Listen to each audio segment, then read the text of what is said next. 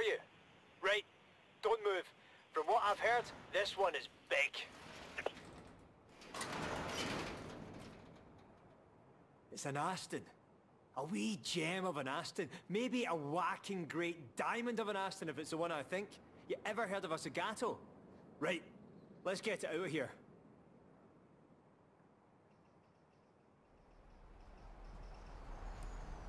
Got a good feeling about this one.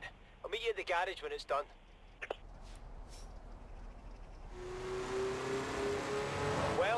Right. That Aston's a DB4 Zagato. Stop by the garage when you can. This one's a beauty.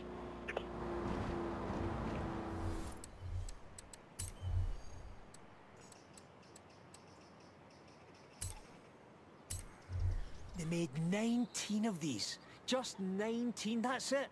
But last time one came up for auction, it went for nearly 10 million pounds. Not a bad find for a couple of chums and a walk in the woods, eh?